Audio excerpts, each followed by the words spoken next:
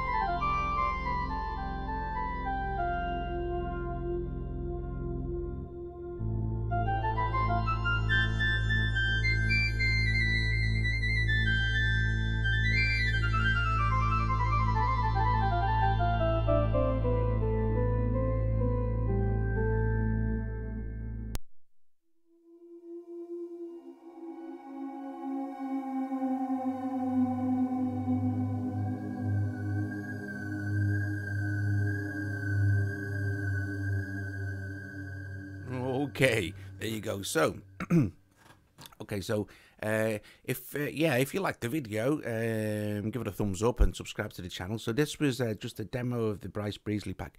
You can even add to this. I mean, you just keep adding layers and layers. And it's fantastically efficient on the CPU as well. For some wild reason, you can have all these tons of synths built up. But you can see that you also get, I mean, you get tons, absolutely tons and tons and tons of stuff just thrown in already, you know. So anyway, um, for anybody who is uh, already uh, a Patreon, um, I'm gonna carry on uh, uh just doing some more of these these mad these mad sounds on this uh, this cinematics pack. Just awesome. Okay, guys, uh, thank you for watching, and I will see you later. And, and go and get LayR, LayR, LayR, because it's awesome and it's it's brilliant.